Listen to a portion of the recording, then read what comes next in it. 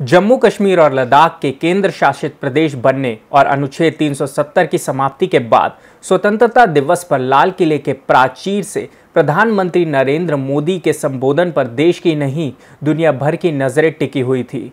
खासकर पाकिस्तान के प्रधानमंत्री इमरान खान के साथ उनके पूरे देश के लोगों की निगाहें भी पीएम मोदी के संबोधन पर ही थी।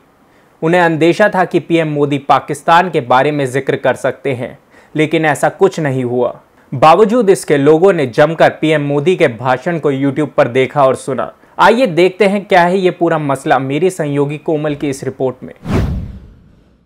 इमरान के बयान पर पीएम मोदी ने चुप्पी से दिया जवाब। गौरतलब है कि लाल किले पर प्रधानमंत्री मोदी ने अपने बानवे मिनट लंबे भाषण में एक बार भी पाकिस्तान का नाम नहीं लिया। यह अलग बात है कि एक दिन पहले ही पाकिस्तान के पीएम इमरान खान का पूरा भाषण भारत पीएम मोदी और यहाँ तक की आरएसएस पर ही केंद्रित था। इमरान खान की बौखलाहट का अंदाज़ा इस बात से लगाया जा सकता है कि उन्होंने अपने बयान में यह तक भविष्यवाणी कर दी कि भारत अब पाकिस्तान के कब्जे वाले जम्मू कश्मीर में बालाकोट से भी ज़्यादा बड़ा हमला कर करने जा रहा है। बता दें कि पुलवामा में आतंकी हमले के बाद भारत की तरफ़ से बालाकोट में हवाई हमला किया गया था। लेकिन पीएम ने अपने संबोधन में भविष्य की योजनाओं का खाचा खींचा। उन्होंने विकास की बात की तो पर्यावरण पर भी चिंता दिखाई। स्वदेशी पर बल दिया। युवा भारत में डिजिटल को प्रोत्साहन दिया। जो पीएम को लाइव नहीं सुन सके, उन्होंने यूट्यूब पर उनके भाषण को सर्च किया। इतना ही नहीं, पाकिस्तान में भी उनका भाषण यूट्यूब पर खूब सर्च किया गया। रात साढ़े आठ बजे गूगल ट्रेंड से पता चला कि खैबर पाख्तूनख्वा इस्लामाबाद इस्लामाबाद सिंध पंजाब बालूचिस्तान में Narendra Modi Modi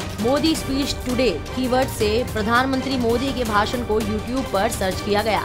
इस्लामाबाद और खैबर पाख्तूनख्वा में तो करीब 100 फ़ीसद उत्सुकता दिखी। लाल किले पर दिए गए प्रधानमंत्री के भाषण को यूट्यूब पर UAE, Qatar Nepal Singapore Australia Canada, Bangladesh UK USA में भी सर्च किया गया। आपको बता दें कि प्रधानमंत्री नरेंद्र मोदी ने स्वतंत्रता दिवस के मौके पर स्वच्छता अभियान की तर्ज पर देश को पॉलिथीन मुक्त करने का एक बड़ा ऐलान किया। दो अक्टूबर को इसे लेकर देश भर में अभियान चलाने की अपील की है। इसके तहत एक बार इस्तेमाल होने वाली प्लास्टिक को इकट्ठा करने को कहा है।